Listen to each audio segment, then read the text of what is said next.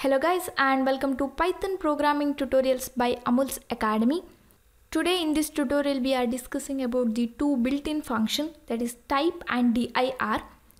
Using type function we can find out the data type of the object.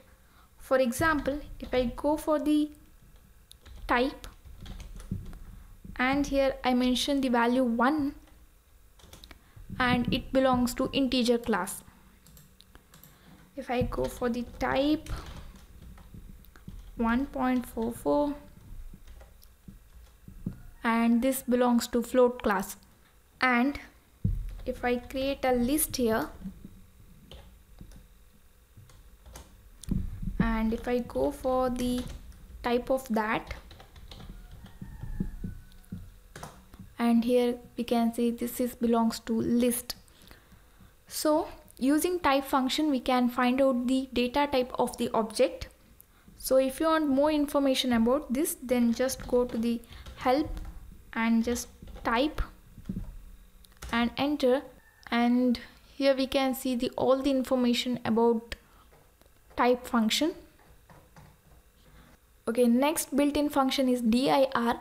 It will give the name present in the current scope.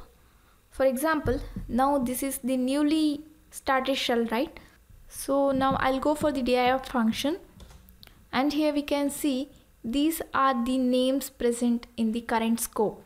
Okay? If I create one list here okay? And I'll create one variable and I'll assign value.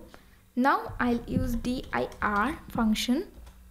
And here we can see the names present in the current scope. A and list 1 also joined to this list and here I'll go to the shell and restart shell okay? Now I'll go to the dir function.